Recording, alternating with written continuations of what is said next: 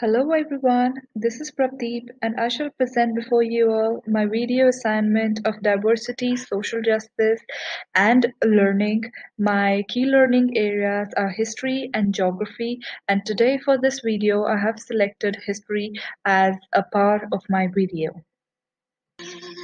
The topic of my video is history and gender differentiation.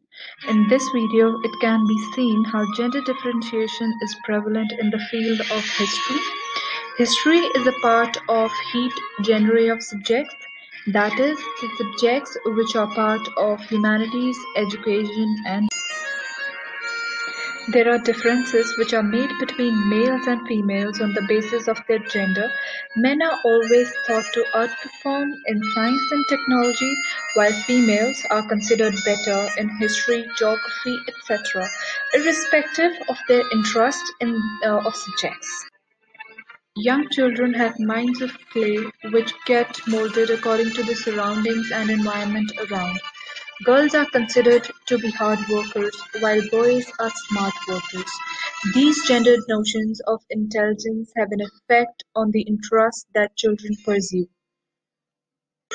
Did you know women were not allowed to read the ancient scriptures in the past? But there's a huge list of women who changed the very course of history through their tremendous works.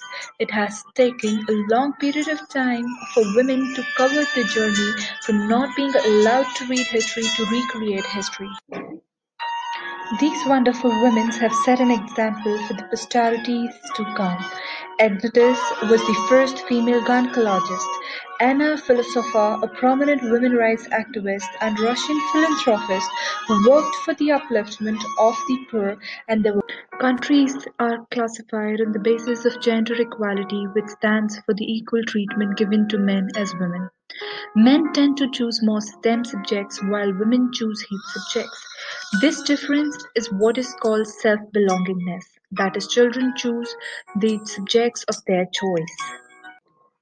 Boys and girls choose subjects which has more workforce of their own gender.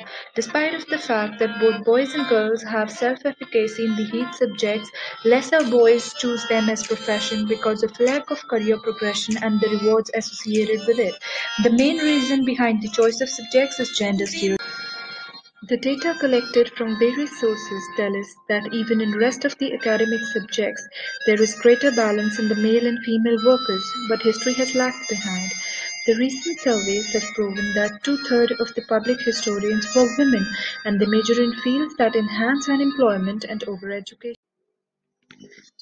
Gender stereotypes encourage boys and girls towards different educational tracks, which in future influences their occupation. Traditionally, more science subjects are considered masculine, while subjects such as history and language are considered to be feminine. It is believed that men write history about men. The genre of history books is dominated by journals, presidents, and authors who were males. An editor at the Oxford University said that he loves to publish women biographies, but it does not tend to sell very well. No subject is based on gender. There are plenty of examples of males who have chosen HEED subjects and numerous females who have marked their footprints in history being excellent scientists, engineers, and architects. Instructions can be comprehended as creating specific subjects with explicit necessities and wants that are curved in complex manners. Schools have a commitment to guarantee they make strong and pertinent instructive encounters for their understudies, hence no gender subjects. So this is the end of my video assignment. Thank you so much for watching it. Hope you like it and I've made it using Powtoon. Thank you.